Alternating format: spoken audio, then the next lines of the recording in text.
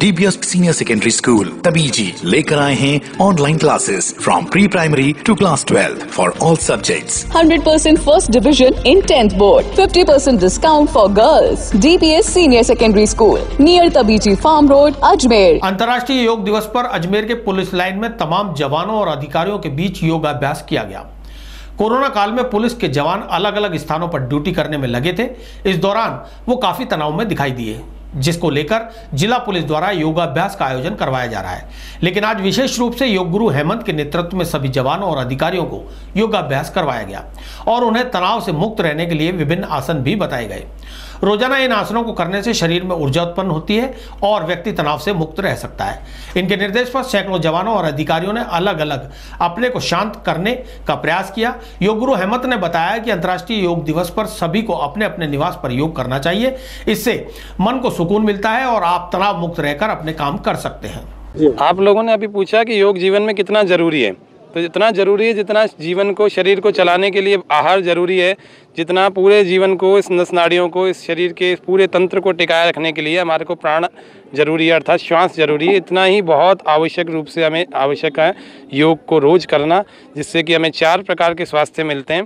पहला स्वास्थ्य हमें शारीरिक मिलता है, दूसरा मानसिक मिलता है, तीसरा बौद्धिक स्वास्थ्य मिलता है, तनाव से मुक्त भी रहते हैं, और चौथा आत्मिक स्वास्थ्य मिलता है, जो कि परमात्मा से, अपने आप से, आत्मा से जोड़ने का काम करके और पीस देता है, जिसको आनंद कहते हैं, जिसकी दौड़ में पूरी दुनिया दौड़ रही है। अर्थात आज हमने इस छठे योग, अंतर्राष्ट्रीय योग दिवस पर इस कार्यक्रम को निष्पन्न किया है। पुलिस लाइन के इस परिसर में सोशल डिस्टेंसिंग का पालन करते हुए और हमने आज इस गौरवान्वित इस पर्व पर, जो कि अंतर्राष्ट्रीय पर्व अब हो चुका है। भारत की संस्कृति से निकला हुआ एकमात्र ऐसा पर्व है, जो पूरी देश और दुनिया के सारे देश 200 से भी अधिक देश अपने अपने घरों में आज मना रहे हैं।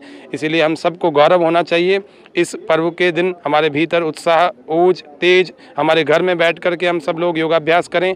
इस तरह से आज हमने इस योग के दिवस को मनाया।